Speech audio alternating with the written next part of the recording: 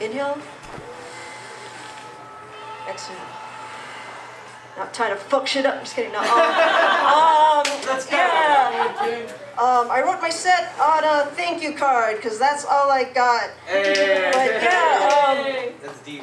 the the theme for this uh, Sunday jump was tenses, and it kind of fit into my life because I've been talking to some of our elders. Uh, I was on this project to help film interviews from people who lived in the Philippines during martial law.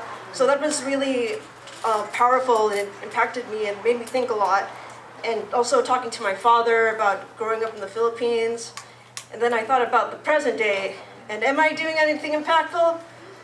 No, I'm just living my best lesbian life. Um, yeah, like- yeah, thank you. Because you know, I just be every day feels like Halloween when you strap in. You know, um, Halloween is an interesting time. Um, I believe there's no good Halloween songs other than Thriller and Monster Mash. Those are the only two songs I hear in the Halloween stores. And Monster Mash just sounds like a weird orgy on Halloween. And like going through the aisles in the Halloween stores, there's not a lot of good costumes for women either. Everything is just super sexualized. Like a sexy ketchup bottle. Like you want people to go up to you and be like, you squirt? Like no. People are gross and I just want like more options for us. Cause damn, I don't always want to be a slut.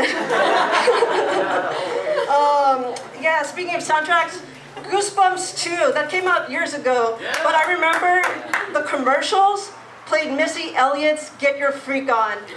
And that's not a Halloween song! y'all. Might as well make it like, I don't know, what's a, what's a sexy song? What's your favorite sexy song? Pony? Ginuwine?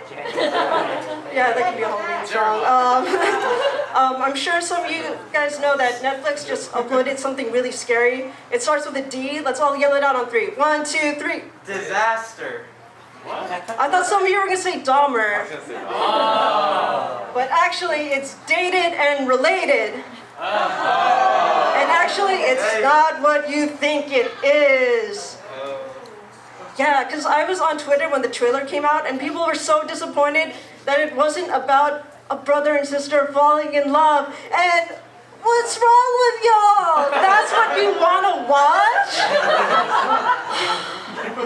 That's like a whole genre on Pornhub now. You ain't gotta like seek that out, and I don't want to know about it. Damn. Um, weird time to mention I'm a teacher.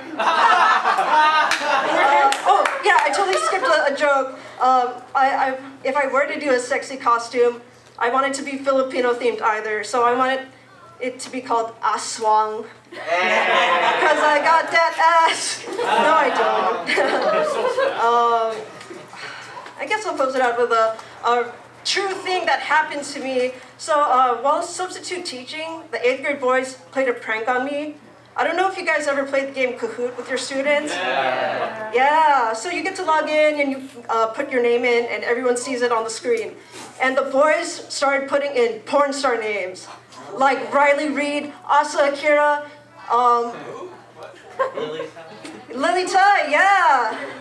Um, and, sorry, I'm wrapping up real quick, last one. Um, and I had the dilemma, like, oh my god, if I call them out on it, they're gonna know that I know who the fuck they are. So I was just like, um, I think our game's get, getting hacked, so yeah, let's close it out.